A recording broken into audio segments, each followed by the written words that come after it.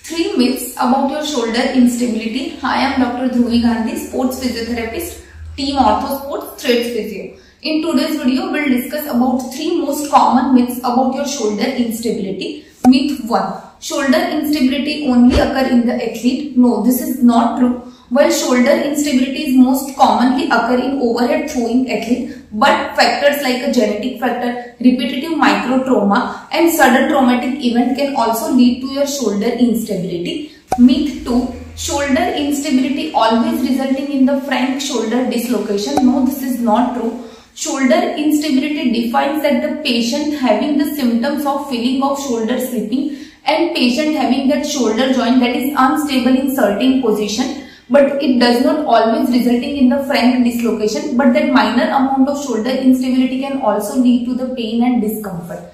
Uh, myth 3 rest is the only solution for your shoulder instability no this is not true rest is maybe the part of uh, recovery process but the key component is you have to follow your structured physiotherapy rehabilitation program that focusing on shoulder strength mobility flexibility proprioception neuromuscular control and to address the kinetic chain deficit and to correct the scapulothoracic mechanics. Thank you.